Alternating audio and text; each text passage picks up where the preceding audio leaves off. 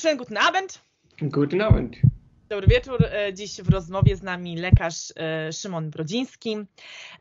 Szymon obecnie jest OB-Arztem Alterspsychiatrii e, w Szwajcarii. To kierunek, który obrał i opowie dziś krótko o tym, jak to się stało, jak do tego doszło, jak wyglądała Twoja specjalizacja tutaj w Polsce, jeszcze zanim wyjechałeś do Szwajcarii i chętnie posłuchamy czegoś o Tobie. Słucham. Więc y, wszystko się zgadza. Jestem, jestem lekarzem y, psychiatrą. Y, obecnie pracuję w, w Szwajcarii jako OB-arzt części psychogeriatrycznej, natomiast specjalizację robiłem w Polsce. W, w zasadzie no, z, zgodnie z planem, tutaj nie było jakichś niespodzianek, więc specjalizację skończyłem w 2000 2019 roku wtedy zdałem e, egzamin specjalizacyjny. E, no to, co, to, co e, jest może mniej typowe w ścieżce kariery medycznej, to oprócz studiów medycznych też skończyłem studia licencjackie z, z filozofii, co było dla mnie taką swego rodzaju rehabilitacją umysłową po, po sześciu latach studiów. Czyli po ale też... studiów, przepraszam, że przerwę, po skończeniu studiów medycznych podjąłeś tą decyzję tak, o... Tak, y, zacząłem, y, filozofię zacząłem studiować będąc na stażu podyplomowym. E, I, I, to się całkiem ładnie złożyło z, też z wyborem specjalizacji. Nie będę ukrywał, że, e, że filozofia tutaj się przyczyniła też do wyboru tego kierunku. Mm. I tak, tutaj uznałem, że to, to, to, mogę, mogę kontynuować, przynajmniej zamknąć pewien, pewien etap. Mhm. E, od y, sześciu miesięcy pracuję, e, pracuję w, w Szwajcarii, właśnie w tej części e, psychogeriatrycznej. I to jest no, dla mnie trochę nowy obszar, ponieważ, ponieważ w Polsce byłem, byłem aktywny raczej w tej części psychiatrii osób dorosłych, ale, ale nazwijmy to w sile wieku, a e, pacjenci psychogeriatryczni jednak należeli do, no może nie zupełnej rzadkości, ale, ale dużo mniej miałem do, z nimi do czynienia niż, niż obecnie. E, natomiast oprócz, oprócz tej części psychogeriatrycznej zajmuję się tutaj również e, mm, trochę ADHD i diagnostyką autyzmu u osób, u osób dorosłych jako taki, jako taki dodatek. Mhm. Szymonie, pozwolę sobie dopytać, zanim przejdę do mhm. kolejnego punktu, to już wszystko tutaj jakby buduje nam pewną całość, ale um, bardzo ciekawi mnie ten wątek tych studiów, e, które, które podejmujesz, a mianowicie filozofii. Czy to był moment, w którym zastanawiałeś się może nad tym, żeby zboczyć odrobinę ze ścieżki kariery medycznej? Czy to było wyłącznie uzupełnienie decyzji o specjalizacji, której się podejmujesz, która, jak słusznie już sam wskazałeś, wpisuje się doskonale w tą specjalizację właśnie? Czy to był taki moment, w którym rozważałeś może jeszcze jakąś inną drogę niż to, żeby zostać lekarzem? Może zupełnie innej, innej drogi tak na poważnie nie, nie rozważałem, ale no, to było jeszcze przed podjęciem ostatecznej decyzji, e, że, że pójdę w stronę, w stronę psychiatrii. I było to po prostu no, bardziej hobbystycznie, jako uzupełnienie, jako poszerzenie horyzontów. E, jednak filozofia też e, z innymi dziedzinami medycyny wbrew pozorom ma całkiem sporo wspólnego. E, I, I, to wydaje mi się, że też pomaga, ładnie uzupełnia też i rozumienie pacjentów, rozumienie w ogóle mm, tego, tego co się dzieje w, w relacjach z pacjentami, tego w ogóle jak, jak postrzegamy rzeczywistość. To myślę, że to jest świetne, świetne uzupełnienie. Mhm, zgadza się. Mm, dobrze, w takim razie Przyjdźmy może, przyjrzyjmy się, przejdźmy może do tego punktu, w którym um, pojawia się ta myśl w ogóle o wyjeździe, bo um, to jest pewna droga i zawsze na nią e, patrzymy jak na jakąś, na jakiś etap, który gdzieś no, w którymś momencie ma swój początek. Często też wiąże się z podjęciem decyzji o nauce języka. Jak to wygląda, kiedy to się dzieje? Kiedy planujesz, że być może będziesz jakby pracował poza granicami kraju, w którym się kształciłeś? W moim przypadku ten pomysł pojawił się jeszcze w trakcie studiów, ale też nie na samym początku, nie na samym początku studiów, tylko gdzieś w okolicy trzeciego, czwartego roku, chyba po pierwszych zajęciach klinicznych. E, wtedy taka myśl zaczęła kiełkować. E, I mm, no na pewno nie było to tak, że, że wówczas zdecydowałem, że na pewno będę wyjeżdżał i, i, i że to jest decyzja ostateczna. E, ale pomyślałem wówczas, że, że otwarcie sobie tej furtki no jest, jest niezłym pomysłem, ponieważ języka niemieckiego zacząłem uczyć się właśnie wtedy, wtedy na, na studiach i decyzja o rozpoczęciu nauki języka e, była, była jednak powiązana z, z tą myślą o ewentualnym wyjeździe, tak. I to od razu była Szwajcaria, czy to był ogólnie projekt na wyjazd za granicę, czy to był projekt na wyjazd do krajów niemieckojęzycznych? No w sumie jest to logiczne, jeśli zacząłeś uczyć się niemieckiego, że niemieckojęzycznych, czyli w takim razie, czy to była od razu Szwajcaria, czy w międzyczasie miałeś taki moment, kiedy w ogóle nie myślałeś o tym, jaki to będzie kraj, tylko będzie to jakiś jeden z krajów niemieckojęzycznych? Jak to wyglądało w kontekście takiego wizualizowania sobie miejsca? Na samym początku y, żadna konkretna, y, żadna konkretna lokalizacja się jeszcze nie, nie pojawiała. Tak jak wspomniałem, to było y, otwarcie drzwi ewakuacyjnych, takiej czy, czy, czy takiej drogi alternatywnej. Natomiast sama myśl o, o wyjeździe, ona się pojawiała i znikała rozpoczynając specjalizację z, z, psychiatrii, szczerze mówiąc, wówczas nie myślałem o tym, że, że, że, że będę wyjeżdżał, no, biorąc jednak pod uwagę to, że, że w psychiatrii e, ta, um, operujemy przede wszystkim językiem i jednak złożoność, e, złożoność języka, język jest naszym narzędziem w pracy, pracy codziennej i to wszystko się opiera na tym. Jak rozumiemy pacjenta, co jesteśmy w stanie mu przekazać, jak, e, jak dobrze rozumiemy też e, niuanse językowe e, w, w sensie, w sensie nie tylko tej znajomości aktywnej, ale również takiego czucia języka. To wydaje mi się w, no w psychiatrii jest, jest szalenie istotną sprawą, zwłaszcza gdy pracuje się z osobami w z psychozami, na przykład to e, no, rozróżnienie tego, czy, czy mamy już do czynienia z formalnymi zaburzeniami myślenia, czy jeszcze nie, e, no, opiera się przede wszystkim na tym, czy, czy jesteśmy w stanie to wyczuć, czy, czy, czy ta składnia nam pasuje, czy, czy nie, czy ten pacjent mówi coś dziwnego, czy nie. I mm, no, to było mm, w ogóle zderzenie się też z tym na samym początku kariery w tej działce psychiatrii E, było, było na tyle też dużym wyzwaniem w języku polskim, że nie, nie, nie, nie przechodziło mi wówczas przez myśl, że, e, że, że, że będę wyjeżdżał. E, ta myśl o wyjeździe, ona się pojawiała i znikała. Trochę też rozstawałem się z nauką języka na, na, na jakiś czas, więc miałem, miałem przerwy, co, co przy nauce języka może dobrze, dobrze nie robi. E, ale ostateczna ta decyzja o tym, że, że próbuję, że wyjeżdżam, e, ona zapadła w 2018 rok, myślę, tak, 2018-19.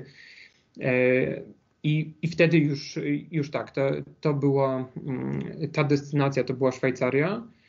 A to, to, to, było ze względów rodzinnych, w tym sensie rodzinnych, że no, mój brat akurat wówczas wyjechał na studia do Szwajcarii, więc ja miałem możliwość zobaczenia tego, jak to tutaj wygląda, jak funkcjonuje życie codzienne, jak, to, jak tu się żyje, ale też wówczas z ciekawości spojrzałem na wymagania, e, jakie, jakie trzeba spełnić, żeby żeby zacząć, żeby zacząć e, pracę. Czyli kończąc specjalizację, masz decyzję, że jest to Szwajcaria, zgadza się?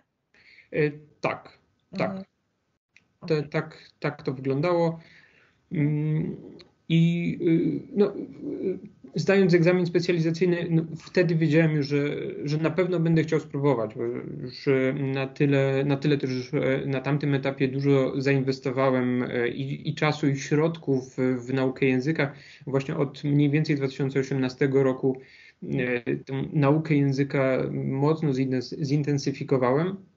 Pojawia się jasny cel, pojawia się intensyfikowanie nauki, to jest taki drastyczny przypadek, także to wszystko się nam tutaj uspania. Ja tylko krótko nawiążę do tego, jak mówiłeś pięknie, tak świadomie o tym właśnie narzędziu, którym jest język. Wydaje mi się, że trudno jest rozmawiać o emocjach w swoim własnym języku, a tutaj w kontekście w ogóle diagnostyki jakiejkolwiek bądź e, takiego czystego wywiadu, poruszanie się w języku niemieckim właśnie na płaszczyźnie wywiadów psychiatrii to jest dla mnie po prostu coś niewiarygodnego. Zawsze mi się tutaj nasuwa czasownik sich fühlen und etwas fühlt sich an. Weißt du das? Y, wiesz o czym mówię, być może w ogóle dla Państwa ciekawostka, czyli sich fühlen versus etwas fühlt sich an. Na to bardzo często nie zwracamy w ogóle uwagi i ile takich rzeczy znajdziemy w języku, kiedy to będzie tak mocno świadczyło też o, o tym, że możemy w ogóle nawet postawić no może nie będę się tutaj kusić o, o stwierdzenie błędnej diagnozy, ale utrudnić sobie jakby ich postawienie ciekawa sprawa, właśnie dlatego ta psychiatria jeszcze w Szwajcarii. Wróćmy do tej Szwajcarii. Um, u Ciebie ten wątek prywatny, tutaj krótko to zbiorę tylko w całość, jakby jest tym punktem zaczepienia, w którym Ty się do niej bardzo zbliżasz. Uh, jak to się przekłada na Twoje doświadczenie, które zbierasz w tym czasie? W trakcie całego okresu specjalizacji tutaj jeszcze w Polsce, później już w momencie tej, e, podjęcia tej decyzji, czy wyjeżdżasz na jakieś programy zagraniczne, czy po prostu podejmujesz decyzję, że wyjeżdżasz do pracy i znajdujesz pracę? E, nie, to, to była decyzja, że, że, że, że szukam pracy, wyjeżdżam do pracy. Mhm. Dobra, to teraz, żeby tutaj nie wywrócić losów tej rozmowy, e, mieliśmy pewien plan. Ja zaraz też przejdę do jeszcze jednego pytania, ale e, podejmę się tego punktu, w którym chcielibyśmy przejść przez te etapy kolejno. To znaczy, doszliśmy już do momentu, w którym jesteś tam i, i po tych rozmowach zaczynasz tą pracę. Mm, miałeś okazję się odrobinę wdrożyć, ale była to raczej decyzja że ten szpital to miejsce i nie działo się tam bardzo y, wiele rzeczy po drodze, no to jak to się w ogóle zaczęło? W sensie bardzo teraz formalnie podchodząc do sprawy, czego oczekiwano od ciebie, jakich dokumentów, jak w ogóle rozpoczęła się ta e, relacja, czy ty znalazłeś ten szpital, czy korzystałeś może z pomocy pośredników. Po prostu od początku kolejno przejdźmy do tego, zakładając, że nasi słuchacze i słuchaczki dzięki temu będą mieli jasność tej drogi. Okej, okay, więc żeby zaczynając od, od, początku, żeby w ogóle myśleć o rozpoczęciu y, pracy jako lekarz w Szwajcarii, y, to co musimy zrobić, to jest y, wystąpienie o uznanie naszych kwalifikacji. E, I mm, to odbywa się poprzez taki, taką komisję, urząd, w skrócie MEBECO, to jest Medicinal Beruf Commission. I mm, do tego, do tego urzędu składamy, e, składamy wniosek, e, w zasadzie trzy wnioski, jeśli, jeśli mamy już specjalizację za sobą. E, jest to wniosek o uznanie dyplomu, dyplomu studiów, wniosek o uznanie specjalizacji i o uznanie kwalifikacji językowych. Jeśli chodzi o uznanie, mm, uznanie dyplomu, no tutaj no przede wszystkim trzeba, trzeba wykonać e, kopię mm, potwierdzoną oczywiście notarialnie oraz tłumaczenie przysięgły również potwierdzone notarialnie dyplomu, suplementu e, do, do dyplomu. E, Oprócz tego, oprócz takich dokumentów jak do, skan dowodu osobistego czy, czy y, CV, mm, trzeba też pobrać zaświadczenie z, z Izby Lekarskiej o zgodności naszego kształcenia z wymogami Unii Europejskiej, ponieważ to uznanie e, kwalifikacji odbywa się na, na mocy porozumień między Szwajcarią a, e, a Unią Europejską. Mhm. Oraz, y, y, więc jeśli chodzi o uznanie samego dyplomu, to jest w zasadzie to.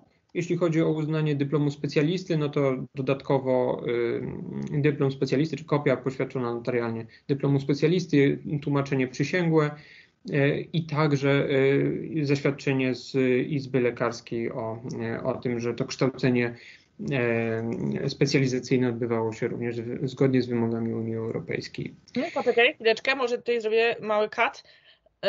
Mamy trzy wnioski. Mhm. Mm, pośród tych wniosków mamy wniosek o uznanie dyplomu, specjalizacji oraz kwalifikacji językowej. Tak. Jeśli chcemy podejść do tego z punktu widzenia lekarza, stażysty bądź rozpoczynającego swoją specjalizację, mamy wtedy dwa wnioski, tak? E, tak, jest jakby tak. taka sama formalna w momencie składania tak tych, tych urzędów, tak o których mówisz. Nie składamy po prostu, chcę, żeby to było bardzo jasne. Czyli jakby ta sama droga dotyczy kogoś i może dotyczyć i on ją może rozpocząć. Kto nie ma też specjalizacji, żebyśmy tak. tutaj nie mieli wątpliwości. E, kwalifikacja językowa odbywa się na podstawie jakich dokładnie dokumentów? Hmm. Gdzie certyfikat, CELK, jaki poziom, jak to się jeszcze tutaj mogłoby uzupełnić w tym, co powiedziałeś? Mhm. Trzeci, trzeci wniosek, czyli wniosek o uznanie kwalifikacji językowych, to się odbywa na, na podstawie certyfikatu językowego i co ciekawe, oficjalnym czy wymaganiem, e, jeśli chodzi o znajomość językową, jest poziom B2 e, w, w Szwajcarii. E, ja przedłożyłem e, certyfikat e, z Instytutu Austriackiego, certyfikat C1 i to nie, nie stanowiło żadnego, żadnego problemu, to zostało uznane bez, bez żadnych przeszkód. Czyli mm, w tym wypadku nie był to ani TELK, ani Goethe certyfikat, mimo wszystko zostało to uwzględnione, czyli zewnętrzny certyfikat językowy jest już kwalifikacją po prostu, niezależnie tak. od... Mebeko, jeśli dobrze pamiętam, wypisuje listę certyfikatów, które, które uznaje. No w tym momencie nie pamiętam całej listy, na pewno Goethe i na pewno Instytut Austriacki to są, to są instytuty, z których certyfikaty są bez problemu uznawane. I tutaj jeszcze krótko, tylko kolejny raz pozwolę sobie uzupełnić wątek B2. On dotyczy również Niemiec. Mm, w większości landów mamy e, poziom B2. To się troszeczkę później inaczej przekłada, ja już o tym e, nieraz mówiłam, na e, kwestię przyjmowania do pracy. To znaczy, zakładając, że mamy lekarza, który rozpoczyna specjalizację, lekarkę z poziomem B2, w pierwszym rzucie bardzo często niestety nie jest to poziom, który daje to możliwość przejścia przez te e, etapy rekrutacji, mimo że jest uznawany ten poziom B2. Więc tutaj zawsze proszę o spojrzenie na to bardzo tak ogólnie, holistycznie, a mianowicie lekarz specjalista z certyfikatem B2 bez problemu przechodzi te kwalifikacje zarówno w Niemczech, jak i w Szwajcarii, statystycznie rzecz biorąc oczywiście. Natomiast e, lekarz rozpoczynający swoją karierę, planujący specjalizację w Niemczech na przykład z poziomem B2 w procesie rekrutacji często, mm, często przechodzi przez różne dyskusje związane z tym, co nieraz obserwowaliśmy wśród naszych kursantów, którzy bardzo szybko musieli zdać wówczas certyfikat C1 w ciągu miesiąca bądź dwóch, stąd też powstała nasza metoda. Nie ukrywam, gdzieś tam się to zaczęło, że okazało się to możliwe i ten cel E, bardzo wówczas e, przed oczami e, umożliwiał rzeczy, wydawałoby się wówczas niemożliwe dziś, które stały się rutyną w naszym programie. Także tutaj bardzo chciałabym to podkreślanie certyfikatu B2 kolejny raz wyjaśnić, tak? Czyli to naprawdę w większości landów niemieckich jest jako kryterium, ale później ta droga w stronę już zdawania egzaminu FSP i samej rekrutacji w szpitalu w przypadku młodych lekarzy, lekarek troszeczkę może być tutaj mm, inna z uwagi na to, e, że jest to poziom B2. Nie musi. Ok, czyli mamy trzy wnioski. Szymonie, dalej, bo ja czuję, że tutaj jeszcze dużo się tak. dzieje. Tak, e, do, może jeszcze jedna ważna rzecz. Do tych wniosków e, należy, do tego doliczyć należy jeszcze potwierdzenia przelewów, ponieważ no, te, każdy z tych wniosków jest, mm, no, jest płatny e, i, i to są kwoty e, podane są widełki między 800 a 1000 franków e, szwajcarskich za uznanie dyplomu, tyle samo za uznanie dyplomu specjalisty i chyba między 50 a 100 franków za uznanie certyfikatu. Mhm. Za opracowanie tego, tego wniosku. Odbywa się to jeszcze w, ten sposób, że najpierw wysyłamy komplet dokumentów, e, zapakowanych ładnie w, w teczkę z wylistowaną całą e, wszystkimi dokumentami, które tam załączamy. E, czekamy na odpowiedź urzędu, który nam potwierdza, że lista dokumentów jest kompletna, że wszystkie potrzebne dokumenty zostały przesłane i y, dostajemy informację, że wniosek może być dalej przetwarzany. Wtedy należy uiścić opłatę Mhm. I następnie e, urząd ma, e, czy w zasadzie ta komisja ma do trzech miesięcy na rozpatrzenie, e, na rozpatrzenie tego, mm, tego wniosku, czy tych, tych wszystkich wniosków. W moim przypadku to trwało około 4-5 tygodni, kiedy dostałem listowne potwierdzenie, że że kwalifikacje zostały uznane razem z no, pewną formą dyplomu, z właśnie potwierdzającego E, potwierdzającego uznanie kwalifikacji e, w Szwajcarii, co jednak nie jest równoznaczne z prawem wykonywania zawodu no e, w Szwajcarii.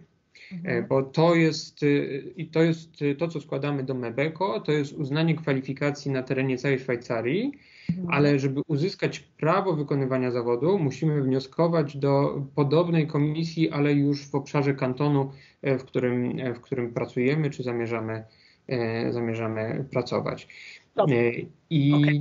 Poczekaj, przepraszam, że przerwę. Próbuję się postawić w roli odbiorców naszych i odbiorczyni, którzy, które, którzy patrzą na to zupełnie bez żadnej wiedzy, przedwiedzy, czyli gdzie jest ten moment, w którym my możemy w ogóle składać wnioski do Mebeko?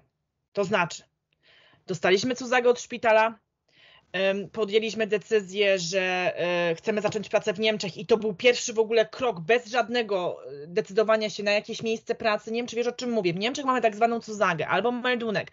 Ewentualnie są landy pojedyncze, w których możemy wystąpić z własnej inicjatywy e, i rozpocząć tą aprobację, a tam nie mam tej jasności, czy musimy mieć cokolwiek, żeby zwrócić się do Mebeko z trzema wnioskami. Nie, nie musimy mieć, nie musimy mieć nic, oprócz no, portfela. Dobrze, jeśli, jeśli płacimy te 1600 czy, czy 2000 franków, no, Szwajcaria jest otwarta na przyjmowanie pieniędzy, tak. Dobra, żeby to było jasne. E, czyli właśnie po prostu mamy wizję wyjazdu do Niemiec i tak samo może to zrobić lekarz bez specjalizacji. Chcę to cały czas tak, podkreślać. Tak, tak, tak jest, tak jest. Tak Mebek, dwa wnioski, wpłata, zaczynamy proces. Tak jest. Potem w obszarze kantonu, żebyśmy szli już dalej, rozpoczynamy proces roz, y, jakby umożliwiając nam rozpoczęcie tego otrzymywania prawa do wykonywania zawodu. I ten, do, dobrze to rozumiem, czyli ten moment, w którym mamy, jesteśmy w Mebeko, on przechodzi też w obszar kantonu, urzędu, który już jakby konkretnie podejmuje temat tego, że będziemy otrzymywać w tym kraju prawo do wykonywania zawodu. Zgadza się? To jest, to jest troszkę, trochę inaczej, e, ponieważ e, jeśli mamy potwierdzenie z Mebeko, możemy szukać, e, szukać pracodawcy, szukać miejsca pracy i możemy w zasadzie zacząć tę pracę. To jest także no, pod, pod pewnym wtedy nadzorem. I ja ten wniosek do kantonu o przyznanie prawa wykonywania zawodu złożyłem chyba po dwóch miesiącach czy w trzecim miesiącu pracy. Czyli dokładnie, no to ma sens, zgadza się. Po prostu jak już jest to miejsce, no to jest kanton, wówczas jest ten proces, w którym rozpoczynamy tak, uzyskiwanie tak. prawa do wykonania zawodu. Czyli to wcale nie dzieje się tak, że mamy prawo do wykonywania zawodu równolegle z tym, jak y, podjęliśmy jakby w ogóle proces y, i, i, i decyzję o tym, że zgłaszamy się do Mebeko. Tak naprawdę możemy się zgłosić do Mebeko, i to może trwać. Czy jest jakiś czas, w którym po zgłoszeniu się do Mebeko na przykład aktualność tych dokumentów, tłumaczeń, wpłat mija? E, jest, nie pamiętam dokładnie, jak długo, jak długo ważny jest. Nie wiem, czy jak długo mówię. ważny jest ma taki pomysł, ma taki pomysł, zrobi to wszystko. Pytanie, na ile od razu za tym idą te kroki, w których on rozpoczyna jakby e, szukanie tego miejsca i na ile to jest aktualne, ale to można sobie na pewno sprawdzić. E, mamy jasność, ok, Mebeko versus PWR w konkretnym kantonie już po rozpoczęciu pracy, w Twoim wypadku po trzech miesiącach. Zgadzasz się? Tak. I teraz Szymonie, żebyśmy tutaj mieli clue, a mianowicie nie mamy w Szwajcarii FSP. Nie mamy. To jest dla wszystkich, którzy tutaj są w tej przestrzeni jasne w tym momencie, bądź już wcześniej było. Na jakiej podstawie otrzymujemy prawo do wykonywania zawodu w Szwajcarii? Bo w Niemczech oczywiście nie będziemy o nich teraz rozmawiać, już nieraz rozmawialiśmy, jest to jasne, w aprobacji wpisuje się i cała dokumentacja, i cały proces dotyczący różnych innych formalności, jak i zdanie egzaminu Niezależnie, czy jest to specjalista, czy jest to człowiek, lekarz, lekarka rozpoczynający, swoją specjalizację musi podejść do egzaminu, w którym mają się potwierdzić jego umiejętności językowe przede wszystkim, ale przede wszystkim też medyczne, bo prowadzi wywiad z pacjentem, bo pisze dokumentację, bo prowadzi wywiad z lekarzem. Jak Szwajcaria weryfikuje merytoryczność potencjalnego zgłaszającego się do pracy tam. To jest w zasadzie weryfikowane w, już w, poprzez, poprzez samego pracodawcę. Jeśli pracodawca wyraża zgodę, widzi, że, że ten poziom języka jest wystarczający, to załatwia sprawę. I to jest to... piękna kolejna wiadomość. To jest po prostu super wiadomość. Trzy wnioski, Mebeko, wpłata i szukamy miejsca dla siebie, a to, czy je dostaniemy, będzie wynikało z już personalizujących tutaj sprawę rozmów i y, subiektywnych odczuć potencjalnego pracodawcy na temat Dokładnie potencjalnego tak. pracownika. Jak to wyglądało u Ciebie? To wróćmy tam, gdzie trochę od tyłu zaczęłam. Przeprowadziłem chyba dwie lub trzy rozmowy z, z właśnie moim obecnym y, szefem. To było online y, zarówno no, on chciał się dowiedzieć, e, dlaczego wybieram Szwajcarię, co chcę robić, e, w, w, jakie mam doświadczenie, w czym, w, w jakich obszarach dotychczas pracowałem, e, no ale też oczywiście przedstawił, jak to wygląda tutaj na miejscu, jakie oni mają oczekiwania, jaki byłby jakie byłyby moje zadania, moje, moje obowiązki, jaką rolę dla mnie, dla mnie widzą. I następnie, następnie e, już miałem okazję odwiedzić ten e, szpital na dwa dni, e, porozmawiać też z szefem kliniki.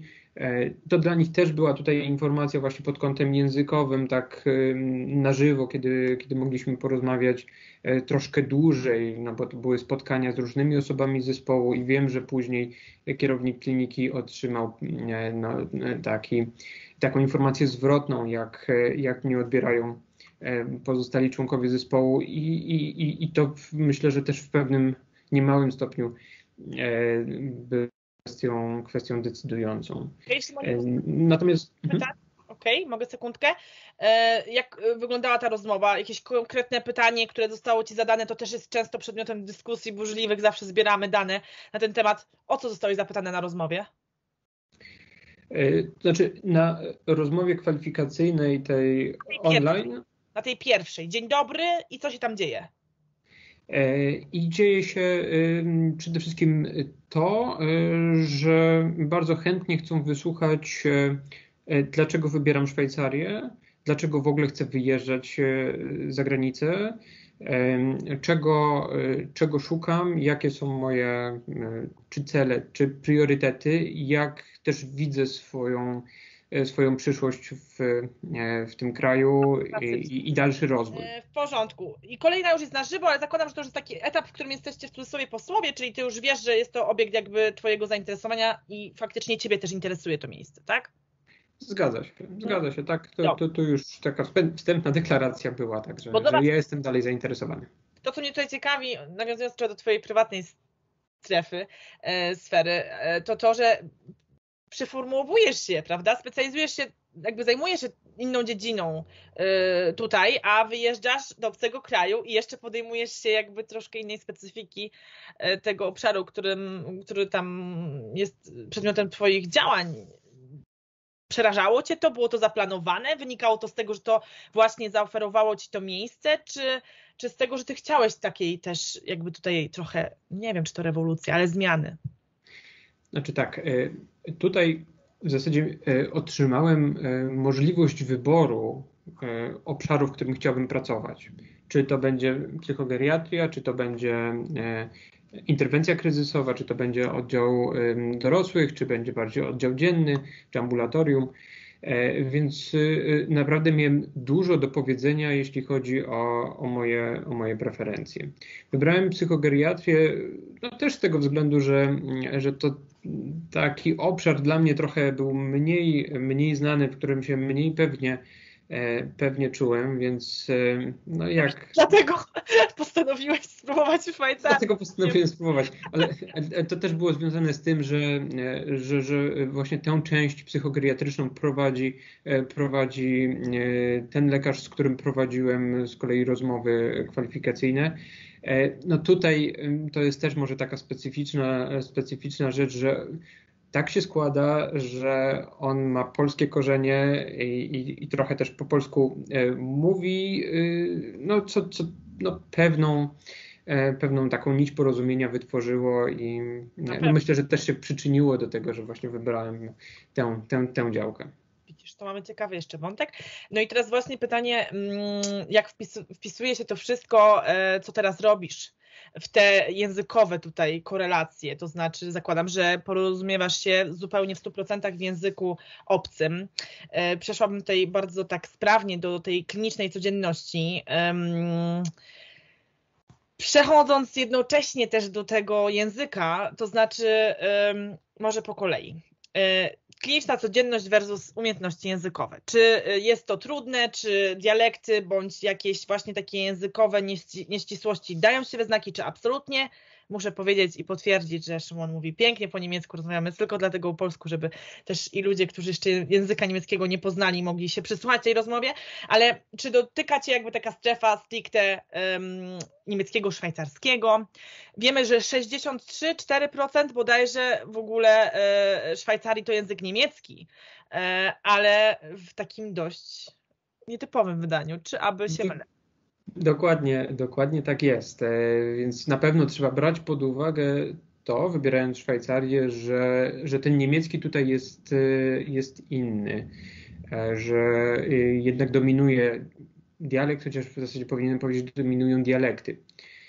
Bo, bo ich jest po prostu wiele i nawet w, w obszarze Szwajcarii osoby z różnych, z różnych kantonów miewają czasem e, pewne trudności z porozumieniem się, czy, czy w pełnym zrozumieniem się wzajemnie. Pojawiły się u Ciebie takie trudności i w ogóle porozmawiajmy chwilę o tej ciemności towarzyszącej takim różnym decyzjom w życiu, czyli jakby czy to faktycznie wszystko obecnie w tym klinicznym e, tutaj przeżywaniu i e, obowiązków, z którymi się mierzysz i kwestii języka, granic, które może stawia bądź nie, czy jest to wszystko takie proste? Na pewno proste nie jest. Natomiast y, była to kwestia, którą bardzo dokładnie chciałem wyjaśnić jeszcze zanim rozpocząłem pracę, zarówno w trakcie rozmów kwalifikacyjnych, jak i y, wizytując y, szpital.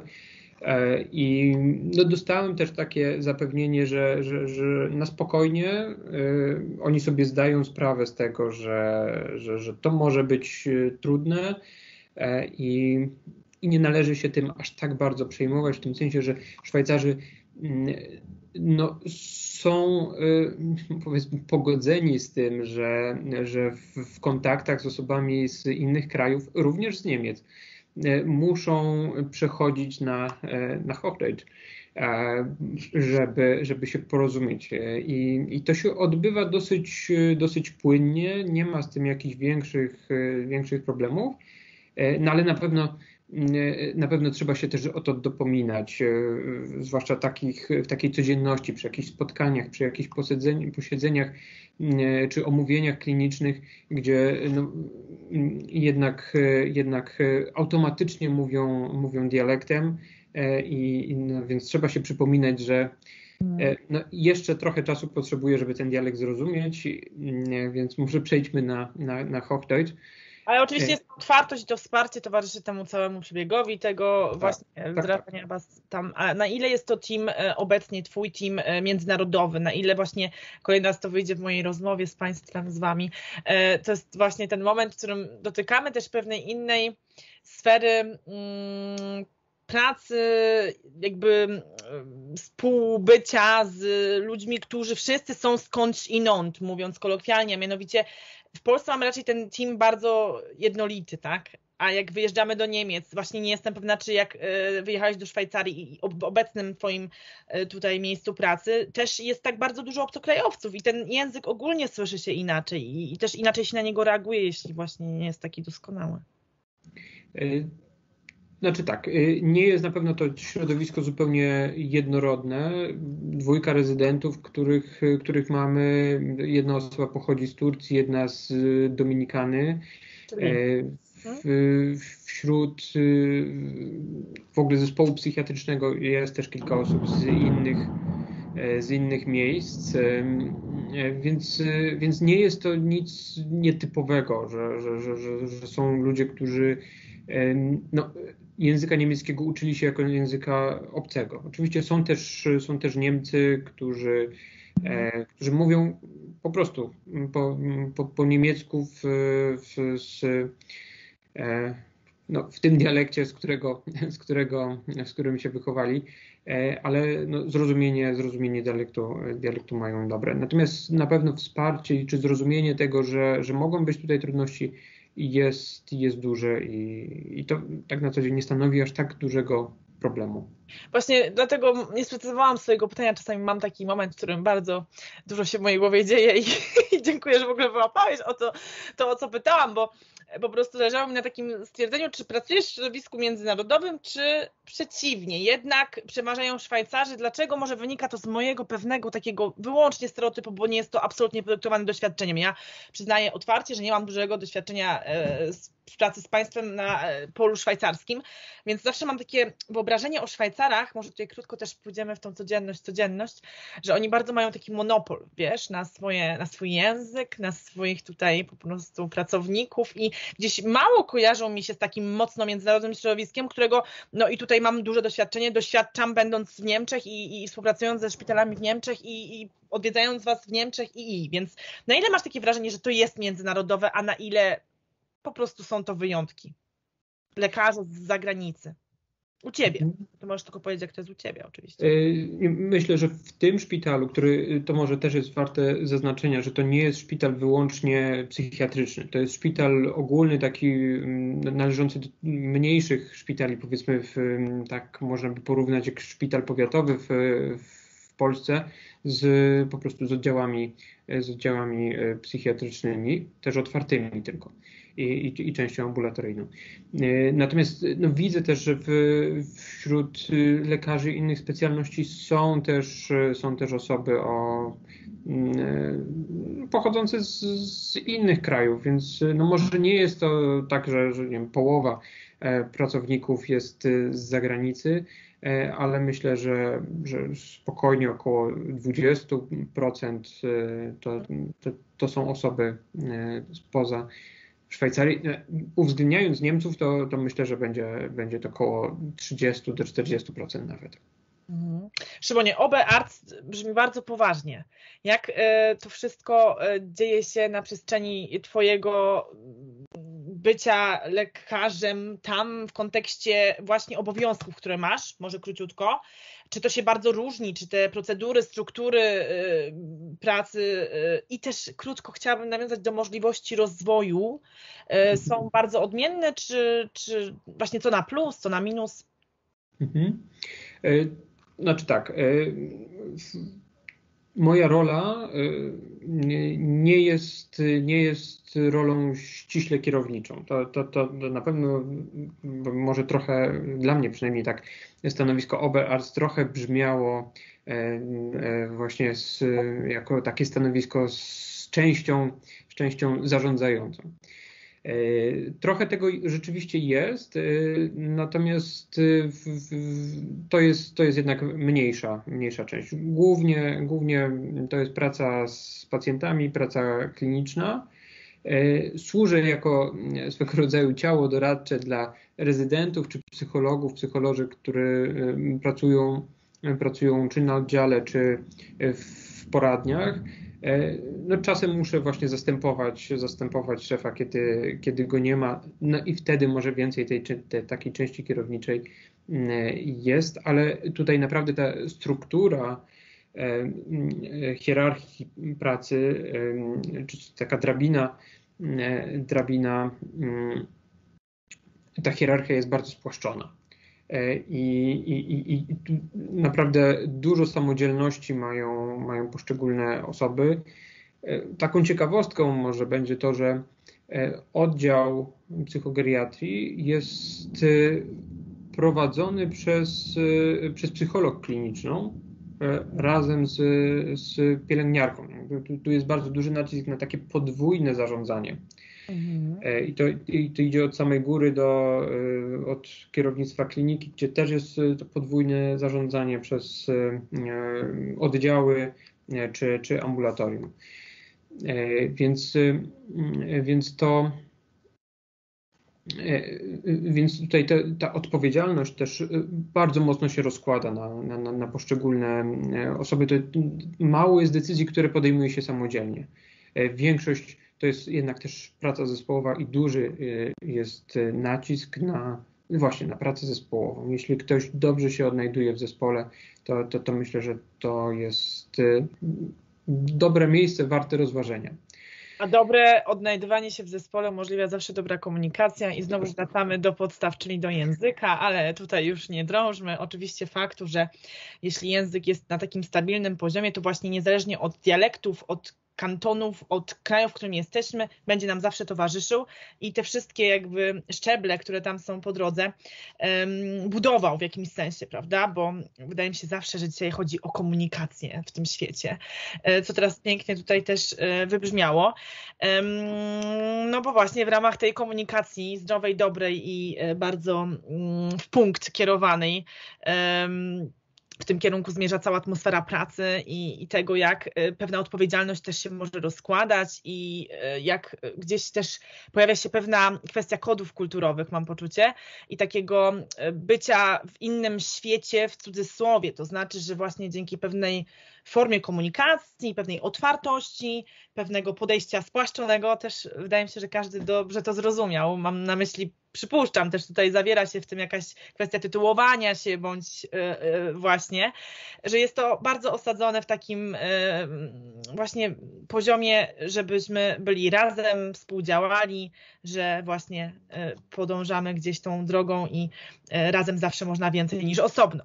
Także to tak poczułam tutaj teraz na chwilę, że jakieś tam kolektywne takie po prostu przeżywanie tej pracy jest może bardzo na plus w Twoim odczuciu, tak? Tak, to, to, to zdecydowanie no, też no, daje to poczucie, że nie zostaje się samym e, z jakimiś trudniejszymi e, decyzjami czy, czy, czy przypadkami, że jest zawsze osoba, do której można się e, zgłosić, czy z kimś porozmawiać, omówić nie narażając się na liczne oceny bądź jakieś pewnie e, nieprzyjemne sytuacje, jest to oczywiste, że po prostu. Tak, tak, tak. Nawet jest, jest to jest duży nacisk kładziony na to, żeby, e, żeby mm, e, konsultować różne rzeczy, też na przykład w kontekście, w kontekście dyżurów. To, to też należy do tej codzienności. E, no i e, tutaj odbywa się to w ten sposób, że dyżurują zwykle, w zasadzie zawsze dyżurują dwie osoby. E, w pierwszym planie to są na miejscu w szpitalu rezydenci, czy też psycholodzy, który, którzy tak samo dyżurują no w zasadzie na izbie przyjęć tutaj tego, tego szpitala, tej części psychiatrycznej. Natomiast oprócz tego jest zawsze specjalista który ma dyżur pod telefonem i jest, e, jest osiągalny e, w trakcie całego dyżuru i w przypadku jakichś wątpliwości, czy, czy, czy kierowania na przykład pacjenta do szpitala bez, bez zgody, przy zastosowaniu jakichś środków przymusu, to zawsze musi to zameldować, skonsultować z, z osobą, która ma ten dyżur pod telefonem. I E, no, dla mnie to też była ważna, ważna kwestia, że, że moje dyżury ograniczą się do tych dyżurów pod telefonem, co oczywiście też na swój sposób może być, e, jest stresujące, ale, ale no, to wygląda zupełnie inaczej niż e, to bycie na pierwszej linii frontu. Jak się przysłuchuję temu, co mówisz, to właśnie wtedy mam zawsze takie wrażenie, że to dlatego jest w nas wszystkich, bo uważam, że niezależnie od y, profesji jest u wielu ludzi, nie nas wszystkich, ale u wielu ludzi ten właśnie moment um, takiego mm, lgnięcia gdzieś dalej. To się nazywa tak pięknie Fernweh po niemiecku, Fernweh, czyli e, odkrywania tego takiego innego poziomu będę się trzymać słowa komunikowania się, e, które się przekłada na właśnie pewną kulturę kraju i, i e, w którym i tak też dużo znajdziemy tych negatywów i te śmieci na ulicy, o których tak często wspominam, ale mimo wszystko wytwarza się pewna atmosfera pracy, która jest zupełnie inna. I ja tutaj nie mam potrzeby niczego reklamować, bo jakby daleka jestem od tego, ale słuchając Cię teraz, znowu poczułam to, że to o to chodzi to, o czym mówisz, to jest to, o co chodzi w momencie, kiedy to fernwy gdzieś w człowieku się rodzi, czyli to, od czego zaczęliśmy też naszą rozmowę,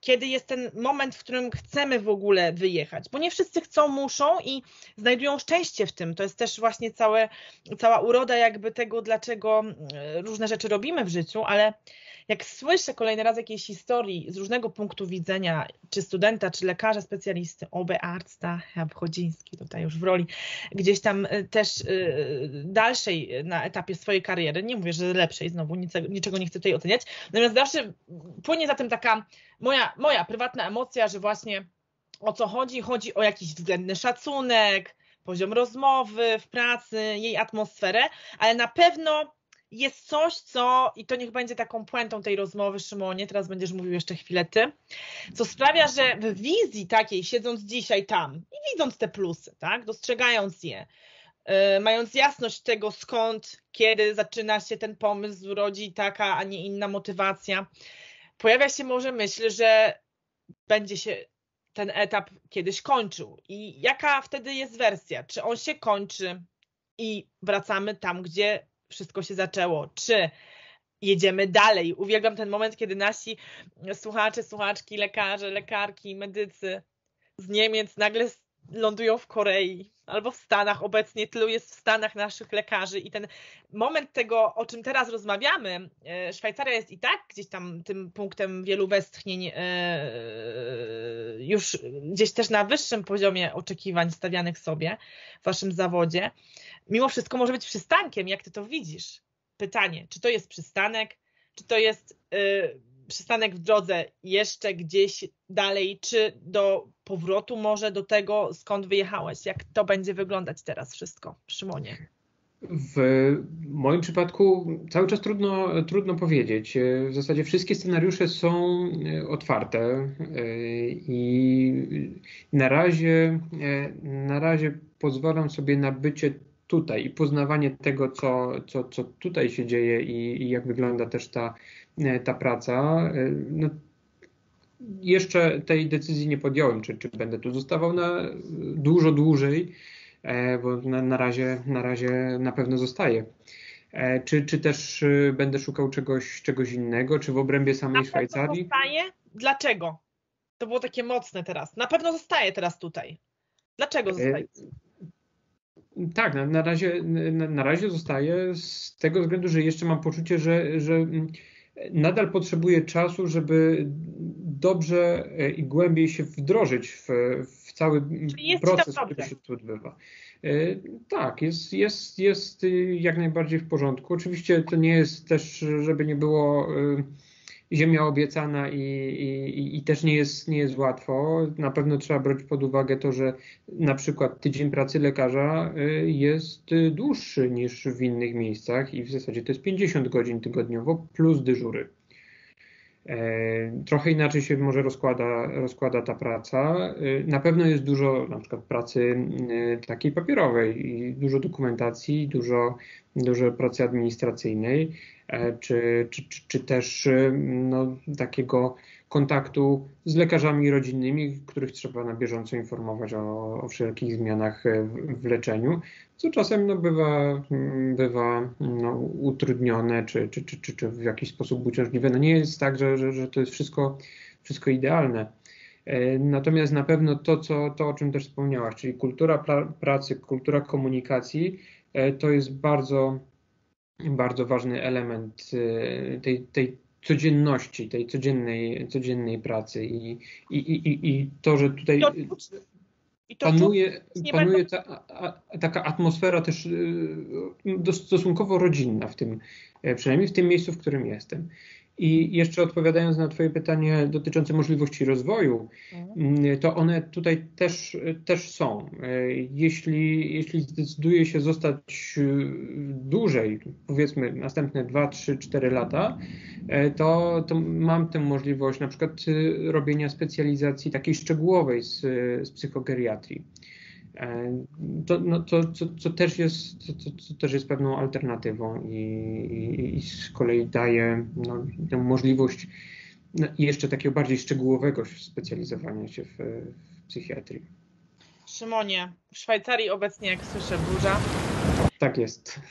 A krajobrazowo i tam, gdzie dokładnie mieści się Twój szpital, e, równie pięknie jak we wszystkich opowieściach o Szwajcarii? Mam na myśli taką stronę typowo już teraz wyjdźmy poza szpital. Czy masz przyjemność być w pięknej części Szwajcarii? I popatrz e, tak. teraz na tą górę. Zdecydowanie, zdecydowanie tak. To jest, e, to jest jeden z olbrzymich, z olbrzymich plusów. E, też to, że no w Szwajcarii jednak e, dominują mniejsze miejscowości, więc bardzo łatwo można się z nich wydostać i, i, i znaleźć się na łonie natury, Dokładnie. czy w górach, czy nad jeziorem. Po prostu Szwajcaria kojarzy mi się z naturą. Dokładnie no. tak, te, dokładnie tak, tak, tak jest I, I, I, dostępność tych gór, ale przy okazji też komunikacja, e, zwłaszcza, zwłaszcza um, kolej jest świetnie zorganizowana. No, nie należy do najtańszych, ale, ale naprawdę można na niej polegać i, i te pociągi przyjeżdżają no niemalże co do, co do minuty punktualnie. Wow, to to chcę e, słyszeć, bo obecnie w Niemczech bardzo trudno o ten stan, w którym pociąg pojawia się punktualnie. Ale oczywiście wszędzie, wszędzie mamy tą ciemność, wszędzie ta burza, a później to słońce.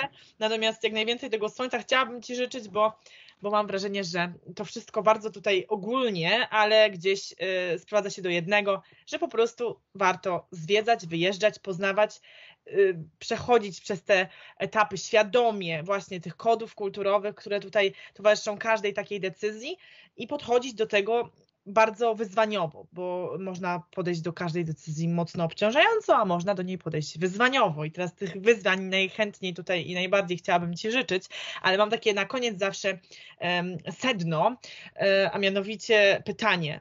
Czy myśmy czegoś nie powiedzieli, co bardzo chciałeś y, powiedzieć i napisałeś sobie w swoich notatkach? Bo chciałabym, żebyśmy jeszcze je, je, tak, biega już poza czas, ale niech to będzie taki backstage. Co tam na backstage'u, panie Brodziński? E, w zasadzie jedna rzecz, bo pozostałe rzeczy poruszyliśmy. E, dla osób, które obawiają się może tego dialektu, e, to jest też opcja kursów, także online, z wprowadzających do, do, do, do, do dialektu I, i to można czy, czy, czy nawet przed wyjazdem zrobić, czy, czy już będąc tutaj. To jest coś, co zwłaszcza na początku jest naprawdę pomocne to na pewno jest taki moment, w którym przy decyzji o Szwajcarii, tu nawet u nas w programie mamy tą opcję e, powoli, bo nie ukrywam, że stawiamy ten projekt. E, pojawia się w ogóle program stricte niemiecki e, w wersji szwajcarskiej, choć jak właśnie jesteśmy w trakcie jego budowania, mam cały czas takie odczucie, że tego się nie da ujednolicić. No nie, nie, zdecydowanie. Po prostu budowanie tego programu doprowadza do pewnego zdania, które zawsze kojarzy mi się z moim okresem studiów um, filologicznych wypowiedzianych przez mojego profesora, że pani Kastelnik to są studia, których się nigdy nie kończy. I oczywiście jak teraz stawiam program niemiecki po szwajcarsku, nie wchodząc w szczegóły, oczywiście życzę każdemu, kto planowałby taki program w mojej branży, e, rozpoczęcie tej akcji, bo to zdanie staje się niesamowicie prawdziwe, prawdziwe a mianowicie, że to po prostu są studia, których się nigdy nie kończy i to jest właśnie żywy język i wydaje mi się, że nie trzeba jechać do Szwajcarii, żeby się z tym zetknąć, że po prostu są to studia, których się nigdy nie kończy i trzeba podejść do tego wyzwaniowo, po prostu e, język może być naszym przyjacielem, do tego jest jeszcze mowa ciała. Jedźmy, sprawdźmy i tam też na żywo, już po pewnych podstawach dialektu, wszystko się może zdarzyć. Czyż nie? Dokładnie tak. A otwartość, jak znowu tutaj wyszło nam w tej rozmowie, na obcokrajowców jest i wydaje mi się, że te granice się otworzyły i niezależnie jakby od e, tego, gdzie będziemy, e, to wszystko jest do zrobienia. Po prostu chciałabym, żeby to był ten wydźwięk, bo ja bardzo jestem na tak wyjazdom, wszelkim, wszędzie, więc kolejny raz cieszę się, że miałam okazję porozmawiać na temat tego, że ktoś gdzieś próbuje, zaczyna i właśnie e, jest w momencie, w którym wie, co robi, i w którą stronę zmierza. Bo tak niewątpliwie wynika z tej rozmowy. Szymonie, powiedzieliśmy wszystko. 100%? Kończymy. E, kończymy, bo pojawiają się kolejne pytania, e, a to zamieniłoby się w taką rozmowę, która już mogłaby nam odbiegać od e, jakby sedna tego, co tutaj zaplanowaliśmy. Bardzo Ci dziękuję.